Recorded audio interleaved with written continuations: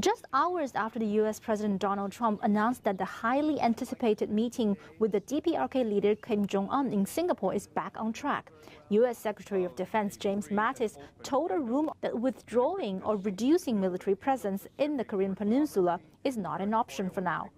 Any discussion about the number of U.S. troops in the Republic of Korea is subject to one, uh, the Republic of Korea's invitation to have them there and the discussions between the United States and the Republic of Korea, separate and distinct from the negotiations that are going on with DPRK. Mm-hmm.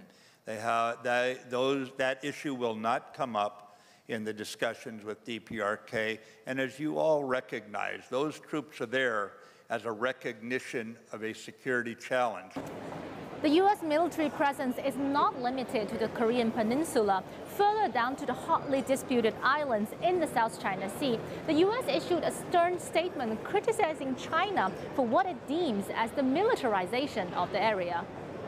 China's militarization of artificial features in the South China Sea includes the deployment of anti-ship missiles, surface-to-air missiles, electronic jammers, and more recently, the landing of bomber aircraft at Woody Island.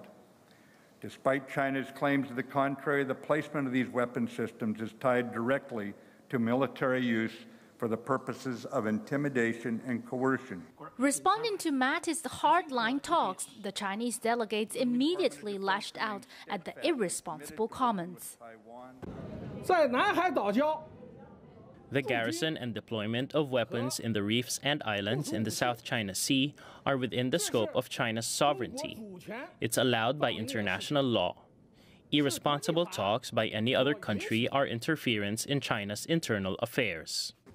Observers say the South China Sea had not been a strategic rivalry issue until the United States decided to take that as a tool to spearhead China. I think what Mattis' mistake is uh, express this American attitude when United States is, is the only country sitting in the continent surrounded by two major oceans, which means their geopolitical situation is completely safe, even without fighting a war, then with sitting on that position to berate other players in the world, other regional players in the world for thinking geopolitically even thinking of a sphere of influence.